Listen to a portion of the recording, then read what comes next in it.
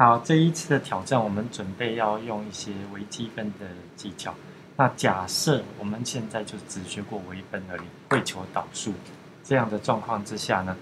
我们现在想要做的事情是说，我们随便给一条线，像这样，那这一条线是要随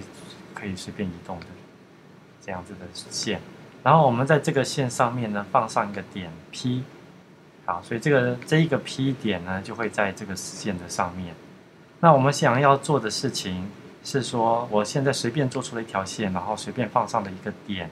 我想要做一个函数，二次的函数，然后刚好是过这个点 P，而且这条线，我们这条线就是它的切线。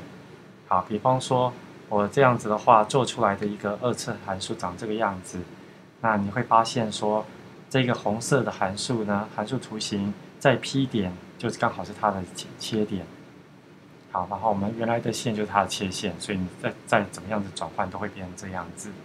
那你就会发现说，这个这种函数不止一个，这种函数不止一个，你就可以发现说，你去做一些调整的话，还可以求出很多很多类似的解。